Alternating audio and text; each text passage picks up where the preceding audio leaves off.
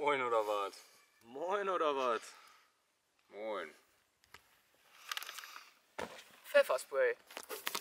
Und mit Pfefferspray geht's jetzt rein in, unseren Unter, in unsere Unterkunft, das Zelt. Mal schauen, wer länger drin bleibt. Mal schauen, wem die Augen als erstes jucken. Ich würde sagen, rein in das Zelt, Pfefferspray in die Augen, Spaß los.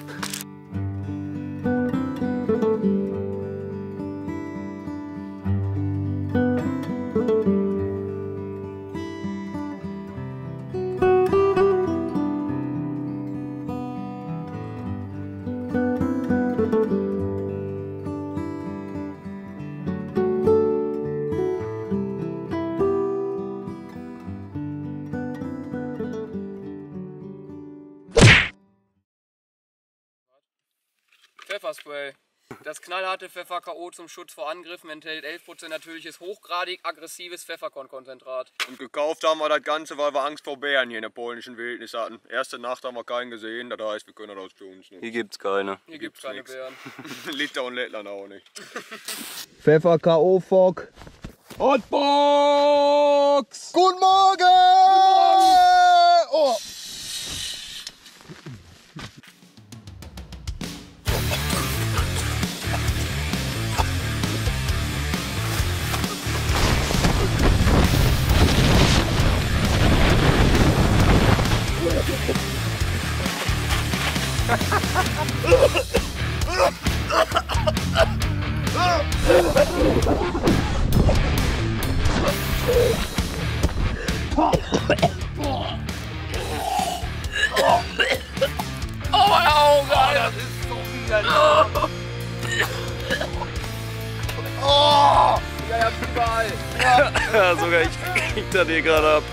Alter. Aber Digga, die ganze Decke ist voll mit dem Zeug, da geht nie wieder jemand rein, ne? War aber schon ziemlich lustig eigentlich. Augen ist nicht so schlimm, ne? Aber doch hätte man das länger ins Gesicht gekriegt. Boah, Alter, Nase ist. Nase und Rachen. Nase ist mega. Also deine Rausstürmaktion war wirklich filmreif.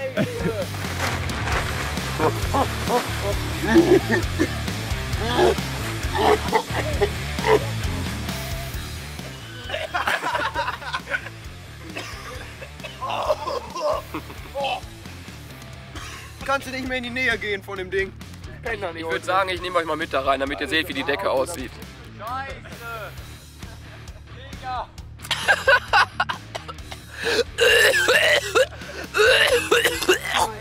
So, und das Beste daran ist, dass die beiden Experten da heute Abend noch drin schlafen dürfen. Ich bin raus, Da bin ich nie wieder drin. Das Zelt, das fackel ich heute noch ab. ich bin weggeworfen. Ich hab nur gesehen, die ganze Alter Lachs. Luft angehalten, wisst ihr? So, die Augen und Schleimhäute haben sich wieder ein bisschen beruhigt. Für uns geht es jetzt rein in die polnische Ostsee. Ein bisschen abkühlen, waschen und dann geht es weiter mit der Madness. Wir nehmen euch mit, bis später.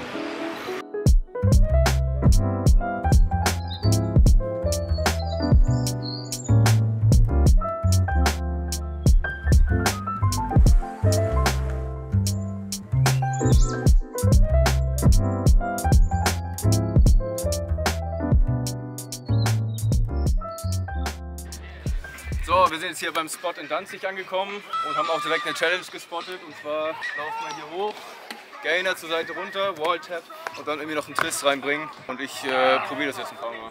Let's go!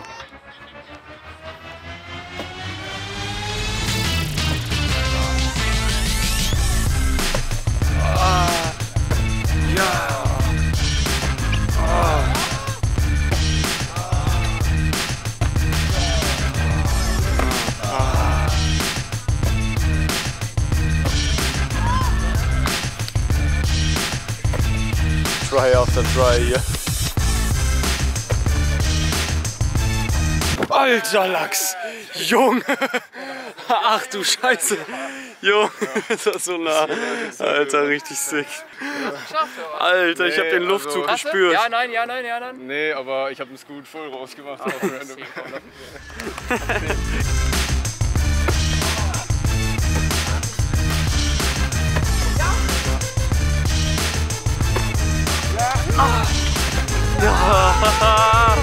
Mann! Alter Lachs!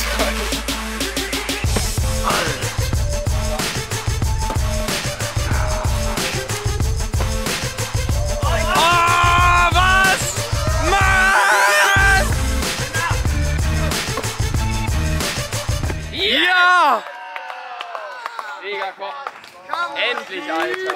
Let's go! Also ich kann zufrieden sein. Es geht immer besser, aber man muss auch mal einen Schluss, äh, wie sagt man, ne? Schlussstrich setzen. Ja, ja. Wie man so wieder so sagen, ne?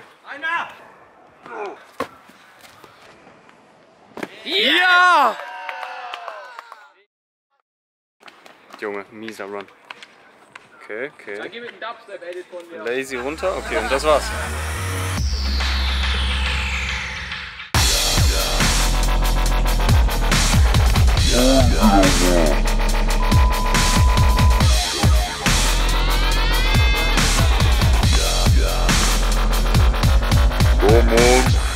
Ah, fast. Almost, weißt du, wie ich meine? Okay, wir haben einen treuen Fan gefunden. Haben wir natürlich auch Sticker am Start. Genau. Das ist YouTube und Instagram. YouTube, Yeah, Instagram. uh, Facebook, yeah, Facebook. Facebook too, yeah. Money coming, money go. I've been at it. I've been at it on the low. Trapping out a while live. I can see the leaders doing Yeah, this. We talking crazy, come on, let's you. go, let's go. up on you, let me school. Nobody here but me and you. Got a little ring to it, turn that thing fluid One cool. bang in that. Way you look, I know it's real. I'm on my shine. I've been really getting feel. You know why I'm here. Don't act like Come you know how I feel. But let me tell you what you mean to me. Slide on me for that mean greet. Vibe with me in the moonshine, sipping moonshine to the new sky. Say it's time Sick. to race soak in the raincoat, hit the waist quota, I be floss. I be locked in, was lost here. All that turned me to a target. They be plotting on me, I be cautious. Back then I was an adolescent, then I had a lesson. I'm the man now. I got fans now. I'm on cam now. I got plans now. I'm finna branch out. Grew up quick, but never let go of this year. I put all of that in my ring. Boots and papers, blowing vapors, wouldn't trade us. Long hair killer in my villa, bitch, I made it. So, wir waren jetzt hier beim nächsten Spot, haben ein bisschen was gemacht. Ivo hat vom Baum gekackt, Ette hat hier einen Kong Pre probiert, was nicht geklappt hat. Dwayne hat ein paar Lines gemacht und ja, ich glaube das war's. Aber jetzt geht's direkt weiter zum nächsten Spot. Oh, wow! So, wir sind im letzten Hinterhof hier in Danzig angekommen, haben hier einen kleinen Spot gefunden. Schönes Gap für einen Frontflip und dann auch noch hier einen richtig geilen Absprung gegen die Wand in so ein Punchback. Allerdings ist die äh, Landezone ein bisschen abgefuckt, weil äh, hier ist Wiese, da unten ist so eine fette Kante. Aber der Spot ist geil, denn wir haben überall Sand, mit dem wir das Ganze schön präparieren und dann das Ganze kein Problem mehr sein sollte. Und selbstverständlich machen wir den Sand am Ende auch wieder weg. What do you think about the punchback? It should be right, but I don't know if this wall is like stable. No, it isn't. Fucking hell. Ja. Und nochmal. das hört sich nach einer Menge Spaß an.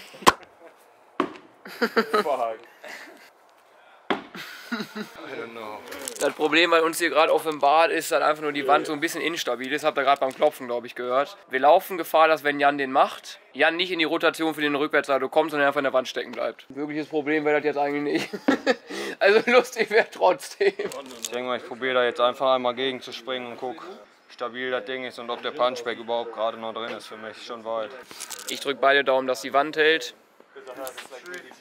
Und dann wird das schon funktionieren.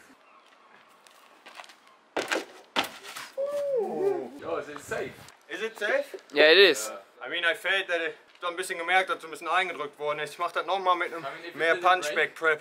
Ja, safe. Bisschen mehr nach hinten. Versuch kaputt zu kriegen. Wenn du kaputt kriegst, dann machen wir nicht. Wenn du kaputt nicht schaffst, dann geht das.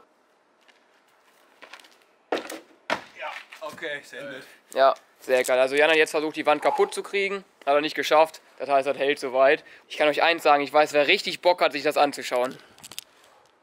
Hallo, ich bin's. Tja, und ich habe in der Tat richtig Bock. Lol. So, die Regie hat mir gerade mitgeteilt, dass Jan den Frontflip vor dem Punchback noch machen wird. Also von dem Dach runter, hier auf dem Boden. Ja, den preppt er jetzt mal. Let's go. Okay, der preppt ihn doch nicht. Mach direkt weiter.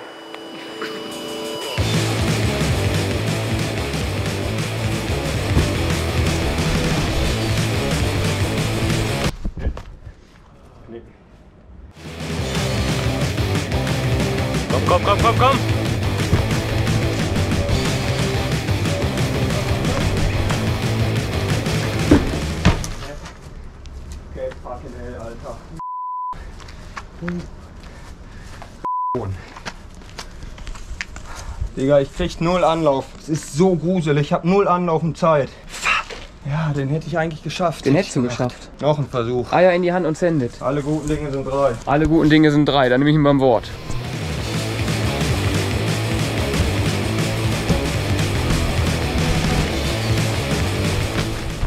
Falsche Schritt, ich Leben, ehrlich. Falschen Schritt da gesetzt. Verpiss dich mal bitte. Ist anscheinend ziemlich ernst gerade. Also, wir lassen Jan sich mal kurz ein bisschen ausruhen und dann sagt er uns, ob er machen wird oder nicht. Was sagst du, Jasbeck? Also ich glaube, er wird nochmal machen, aber ist schon hart. Also der Frontflip ist ja auch großer Impact. Den jedes Mal wieder aufs Neue zu machen mit der Angst von der Security da, ist schon scheiße. Dann haben wir ganz vergessen zu erwähnen, wir werden die ganze Zeit von so einem Security-Typen beobachtet und müssen immer dann aufs Dach gehen, wenn der gerade nicht guckt. Der sitzt irgendwo hinter den Büschen in so einem Container, da wird man auf der GoPro wahrscheinlich 0,000% sehen. Ich sehe das nicht mal in echt gerade. Ja, ja, aber da hinten irgendwo sitzt er auf jeden Fall, deswegen müssen wir aufpassen. Jan fokussiert sich noch mal ein bisschen und hoffentlich sehen wir gleich den Clip.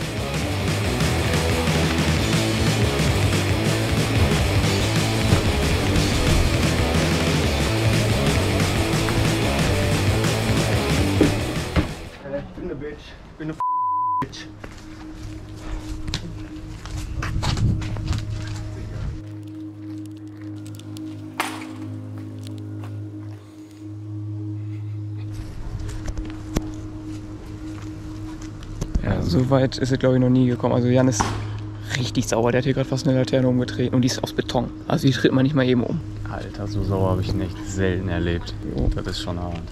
Also normalerweise ist Jans Level immer so bei sauer, dass er einfach aufhört, mit ihm zu reden. Also einfach weggeht und ziemlich angepisst ist. Aber jetzt gerade hat er halt noch Selbstverletzung dazu genommen und Sachbeschädigung. Also anscheinend hat er jetzt richtig Bock. Und lustige Sprüche klemmen bei uns dann auch, glaube ich, jetzt.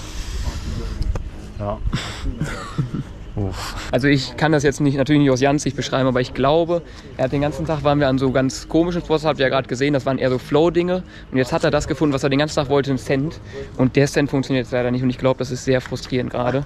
Also kann ich voll und ganz nachvollziehen. Vielleicht kriegen wir gleich noch ein Statement von Jan oder er bringt uns alle um. Mal gucken, eins von beiden wird sein. Du gehst da einfach nur hoch, dann machst du diesen scheiß Frontflip und dann rennst du da rein. Und dann scheißt du drauf, was dein Kopf dir sagt, dann machst du einfach diesen scheiß Backflip. Setz deine Wut um in den Run. Einfach nur tritt die Wand um. Scheiß drauf. Wäre natürlich wack, wenn sie dann doch nicht mehr hält. Ah, komm.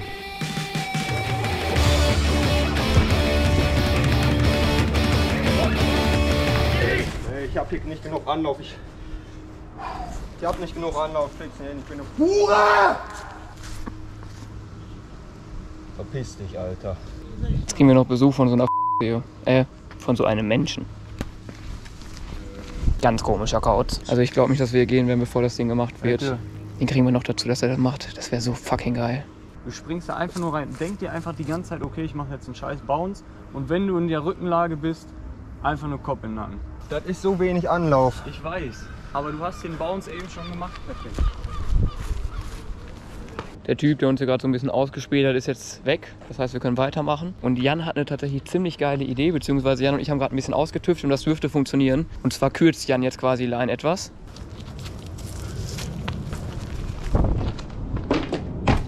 Wir kürzen, Jan geht hier hoch, dreht hier und rennt dann hier straight away gegen die Wand. Und damit muss es klappen. Wenn das nicht klappt, dann falle ich vom Glauben ab. Das sage ich euch ganz ehrlich. Also rein da. Drei, drei, zwei, eins. Send it. Yes, komm.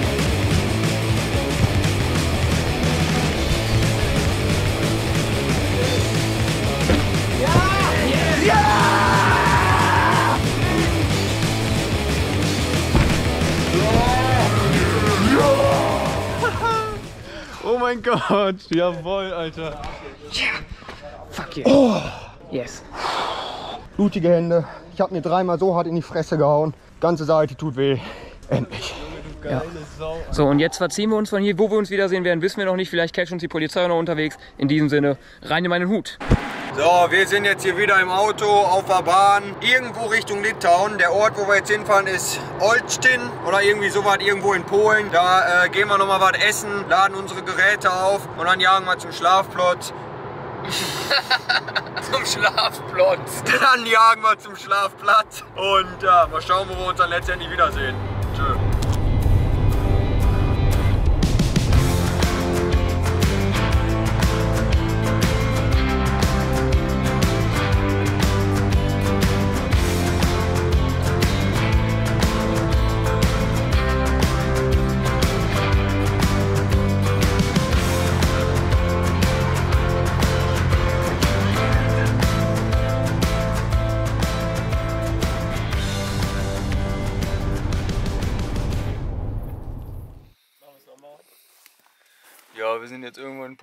Feld und äh, werden jetzt hier die Nacht verbringen. Wir schlafen in einem Pfefferspray-Zelt, zumindest Jan und ich, weil wir die Pfefferspray-Nummer heute Morgen gebracht haben. Also müssen wir in dem Pfefferspray-Zelt schlafen und jemand anderes in dem Pfefferspray-Zelt schlafen möchte. Bis morgen.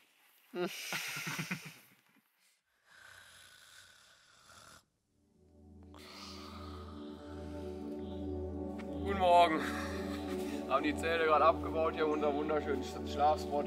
Guckt ihr euch an.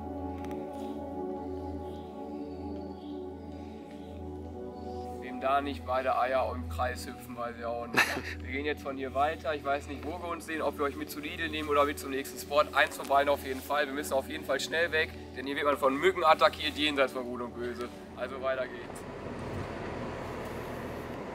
So, wir sitzen mal wieder hier im Karren auf dem Weg nach Litauen jetzt. Fahren wir in irgendeine Stadt, Kaunas heißt das Dingen. Und schauen wir mal, was uns da so erwartet. Erste Mal in Litauen, sind alle gespannt. Fahren in Olgau. So,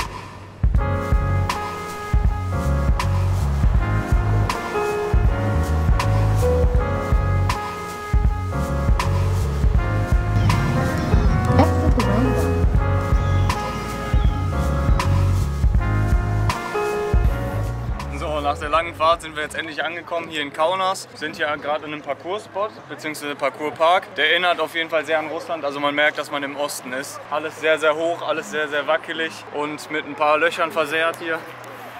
ist aber Wahnsinn und ich würde sagen, jetzt gibt's ein Edit, oder? In dem Park hier kann man recht schwer Lines machen, weil der Boden extrem rutschig ist, beziehungsweise aus Sand und man hier oben dann überall schlindern geht wie auf Schlittschuhbahn. Deswegen habe ich mir hier so eine kleine Challenge rausgesucht.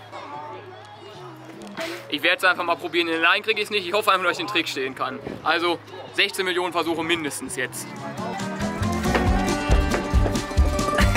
Direktnummer!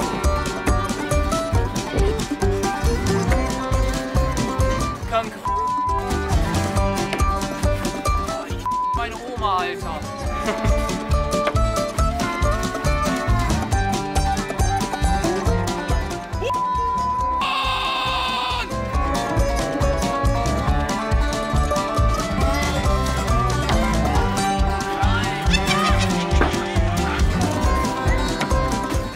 weit nach vorne. Der war zu wild. Ja, das sah aber eigentlich schon ziemlich gut aus, muss ich dann nochmal sagen. Dann auch. Der war richtig sportlich. Der Trick ist doch ganz schön geil. Ich würde den gerne in eine Line packen. Deswegen probiere ich mal, ob ich da einen Swingcast packe. Wenn ich das packe, dann habe ich eine Line.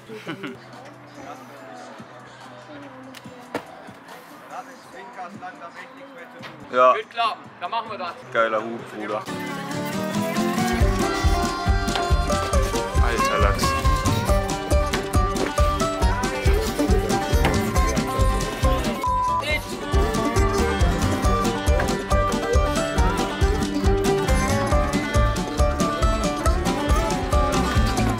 Alter! Digga, ich hatte so keinen Grip mehr an der Stange wegen dem scheiß Sand, ne? Junge, fast Übergang gemacht.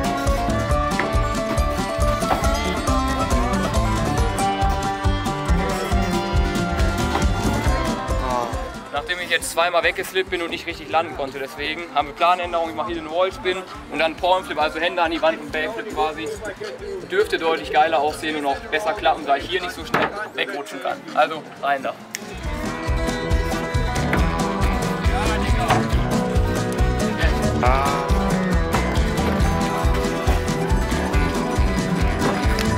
Alter,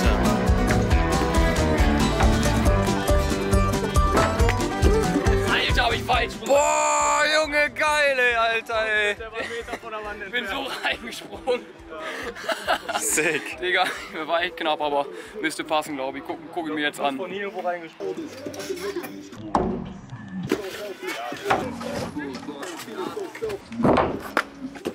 Alter, hab ich falsch. Boah, Junge, geil, ey, Alter, ey.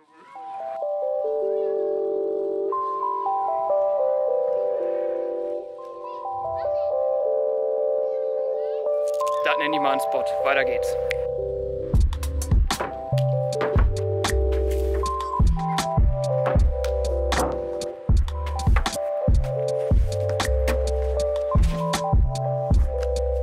Alter, was? damit habe ich jetzt mal gar nicht gerechnet beim zweiten. Alter, ich habe mich so gefreut, der Safety war glaube ich gut ich war so, ja, ja, ja, ja. Ja, fast in Freunden rumgesprungen und hab fast vergessen weiterzumachen. Alter, so fucking Oh, sick. yes. Darauf erstmal eine dicke Faust, ey.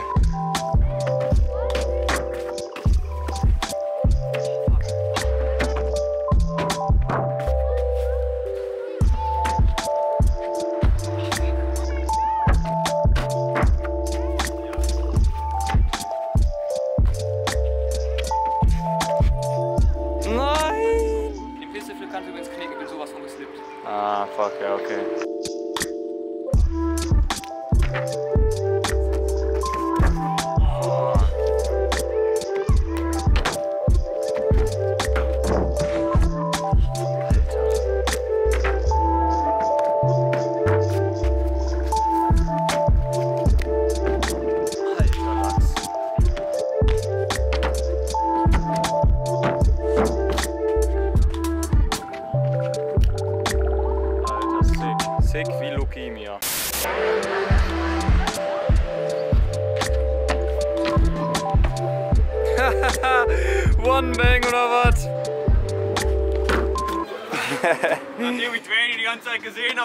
Der wegmacht, muss ich auch noch was zum, zum Besten geben. Klassiker. So, nachdem äh, Dwayne hier gerade eben den lituanischen äh, Parcourspark zerstört hat, ja, geht es jetzt für uns in irgendein Zeltlager. Wir wissen noch nicht wohin. Mal schauen, wo es uns hinführt. Und morgen sind wir, glaube ich, auch noch mal hier in, in der Sauna in Litauen. Und äh, schauen wir mal. Ja, in diesem Sinne 3, 2, 1, bis gleich.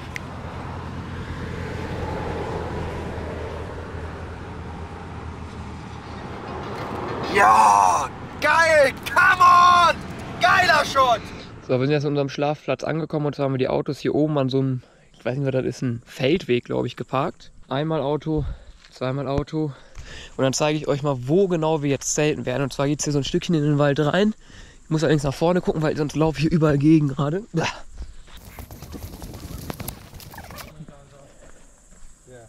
But Niels, it happened as well, but it was only like a one kilometer away, so maybe, uh, what should I do? Should I say too bad I'm not in Carnes anymore?